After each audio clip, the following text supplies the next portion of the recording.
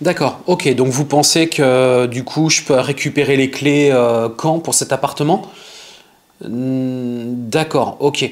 Bah du coup, si effectivement on peut s'entendre sur le premier loyer, euh, dans le sens où moi je peux le récupérer dès maintenant l'appartement, bien entendu, je vais l'assurer et que derrière on puisse commencer euh, eh bien, le bail donc dès le mois prochain, ce qui me laisse le temps bah, moi de commencer à préparer l'appartement, de l'embellir, euh, de faire en sorte que voilà votre appartement soit dans un état vraiment très acceptable et que je puisse moi derrière accueillir une clientèle justement de, de, gens, comment dirais-je, plutôt professionnels. Bah écoutez, si on est ok là-dessus, bah moi il n'y a pas de souci, c'est ok pour le, pour le contrat et je vous propose de vous l'envoyer dès maintenant par email et on va pouvoir euh, donc euh, commencer à travailler ensemble. Ok, bah on fait comme ça. Merci beaucoup et je vous dis à très vite. Salut, c'est Sébastien, bienvenue sur cette nouvelle vidéo. Et bien là, tu vois, je viens de raccrocher avec un propriétaire. Alors c'est un fake, tu l'as compris, bien évidemment. Mais ce que je veux te faire comprendre, c'est que du coup, dans cette vidéo, on va parler de quoi? On va parler de propriétaire, mais on va surtout parler de comment convaincre un propriétaire de bien vouloir nous sous-louer, nous louer, j'ai envie de vous dire, son appartement. Pourquoi faire? Bah pour faire de la sous-location, tout simplement. Allez, je te balance le générique et on se retrouve juste après.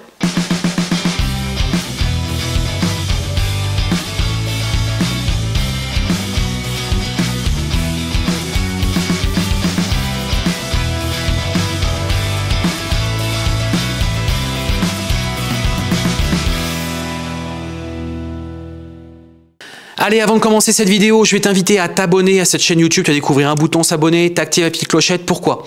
Bah tout simplement parce que ça va te permettre de recevoir très prochainement et dans les prochains jours de nouvelles vidéos sur l'immobilier, l'investissement locatif, la sous-location. Et justement, on en parle euh, aujourd'hui. La conciergerie d'appartement et tout ce qui est lié à l'entrepreneuriat.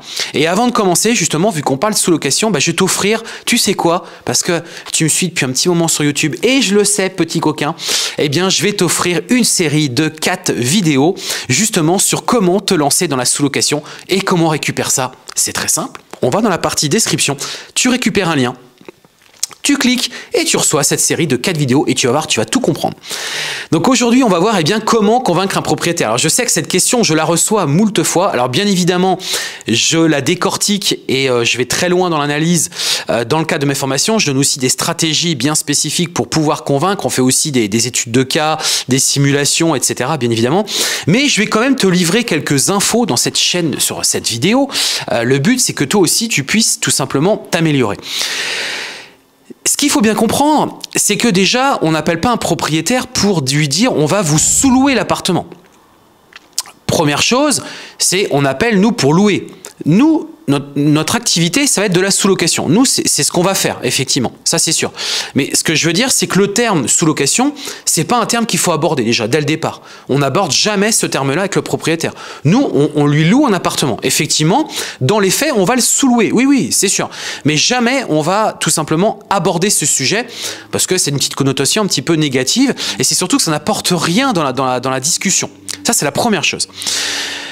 Deuxième chose, ce qu'il faut bien que tu comprennes, c'est que euh, on a deux profils finalement de propriétaires d'appartements. On a des propriétaires, c'est peut-être leur résidence secondaire, euh, ou c'est peut-être des propriétaires qui ont acheté cet appartement durant leur vie et qui l'utilisent comme un capital, euh, on va dire retraite par exemple, c'est-à-dire qu'ils veulent en générer un revenu pour leur retraite, etc.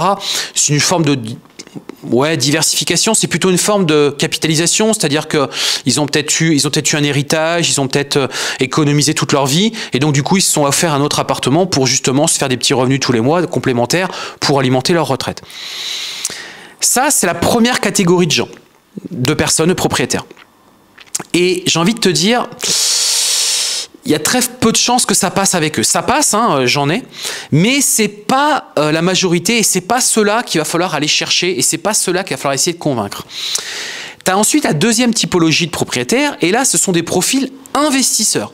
C'est-à-dire, ce sont des personnes qui, généralement, d'ailleurs, ne sont pas dans la ville, et qui ont acheté des appartements pour tout simplement diversifier leurs actifs, ou se constituer un patrimoine, ou se générer des revenus, ou du cash flow, etc., etc., etc. Alors, tu vas me dire, bah oui, mais ces, investisseurs, pourquoi ils feraient, pourquoi ils feraient pas eux-mêmes la location courte durée? Parce que c'est vrai que j'ai pas précisé. Quand on fait de la sous-location, à chaque fois, c'est parce que derrière, on veut exploiter en courte durée. Donc tout ce qui est Airbnb et Booking. Alors vous allez me dire, bah, quel est leur intérêt? Bah en fait, le truc, c'est que vous posez les questions pour, eux-mêmes. C'est-à-dire que vous faites les questions, vous faites les réponses. C'est-à-dire que vous pensez que eux, ils vont tous faire de la courte durée. Non. Euh, je vous le dis, euh, les personnes qui font de la courte durée restent une minorité. Hein. La plupart des investisseurs font de l'investissement classique, c'est-à-dire location en nu ou en location en meublé. Mais ça, c'est très clair. Donc déjà, retirez-vous de ça de la tête. Et pourquoi ils font ça? Tout simplement parce que ces propriétaires-là ne veulent pas s'emmerder. C'est-à-dire que eux, ils veulent un locataire une fois par an maximum. Donc il y a turnover une fois par an maximum, et encore s'il reste plus longtemps, bah, tant mieux. Et point barre. Ils veulent pas entendre parler parce que c'est des gens généralement qui sont salariés, ou peut-être ce sont des personnes qui ont autre chose, ou qui habitent pas en France. Et du coup, ils ont franchement pas envie d'entendre parler. Alors certes, ils délèguent très certainement à des, euh, des agents CIMO, mais ils savent, aussi que les agents CIMO, à chaque fois, vont prendre des frais à chaque fois qu'il y a des locataires. Donc du coup, ça les intéresse pas, et dans leur schéma à eux, ils sont pas dans le délire courte durée, ils sont pas dans le délire Airbnb, etc. Et donc ils sont dans le délire, eux, on, nous, on loue notre appartement, point barre. Pour vous donner un exemple, euh, il y a de ça euh, quelques mois, j'avais rencontré un propriétaire. À la base, il voulait euh, le louer en courte durée, mais vraiment. Et en fait, je me suis pointé, donc du coup, pour l'accompagner dans la mise en place de son appartement, etc., dans le cadre de ma conciergerie que j'ai que j'ai sur ma ville. Et euh, bah, en discutant, euh, bah, lui m'a dit non, finalement, euh, je préférais que vous me versiez un loyer tous les mois que vous me garantissiez que vous me versiez bien un loyer et que par contre derrière vous vous en faites ce que vous voulez quoi. Et donc, vous voyez que d'une situation euh, au départ qui était pas du tout orientée sous-location, finalement, on est arrivé sur une solution de sous-location. Alors, je vous dis pas que c'est fait comme ça. Euh, je vous dis qu'il y a des choses à expliquer, à démontrer, à analyser euh, pour arriver à ça. Mais ce que je vais vous dire, c'est que c'est les faits, c'est réel, c'est comme ça, c'est la réalité. Ce que je vous explique là, c'est juste réel. D'ailleurs, tu mettras dans la partie commentaire si toi aussi c'était déjà arrivé. Et je crois que d'ailleurs, c'est le bon moment pour lâcher le gros pouce bleu si cette vidéo est en train de te plaire parce qu'elle n'est pas terminée. Et c'est pour ça, reste bien jusqu'à la fin parce que justement, je vais te livrer à mon sens le truc qui va vraiment faire la différence.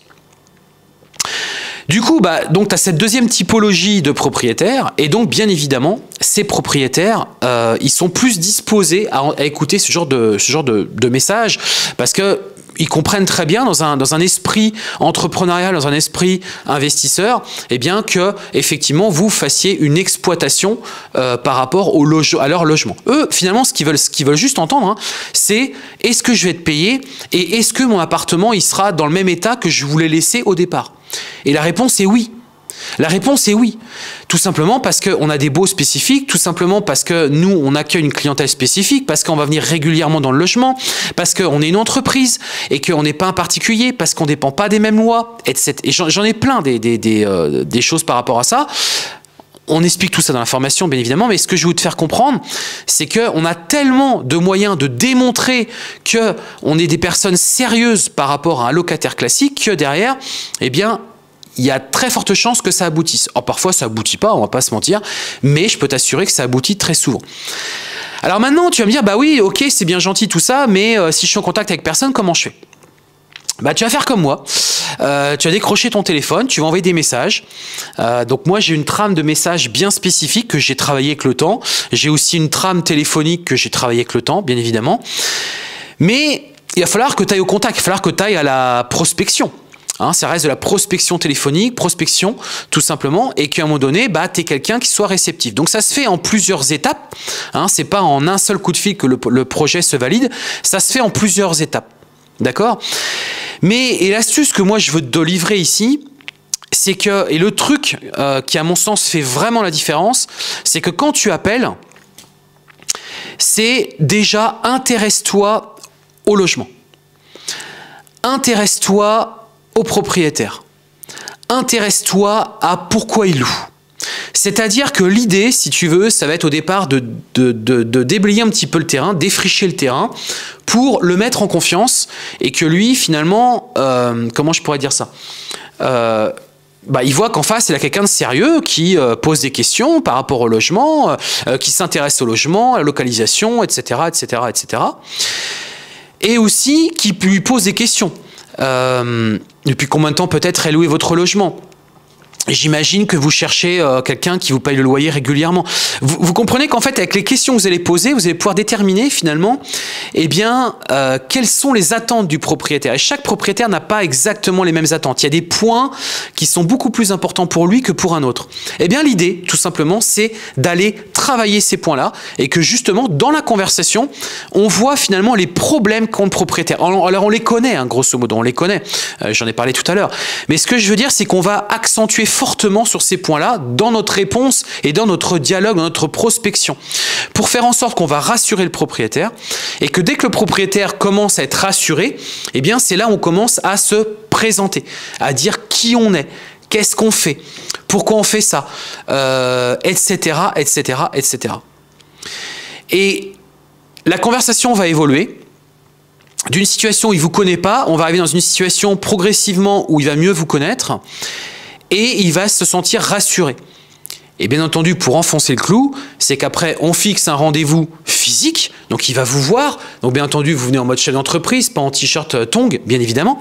Vous allez venir en mode chef d'entreprise, petite chemise, attaché caisse, carte de visite, bien sapé, bien entendu, voilà, propre, etc.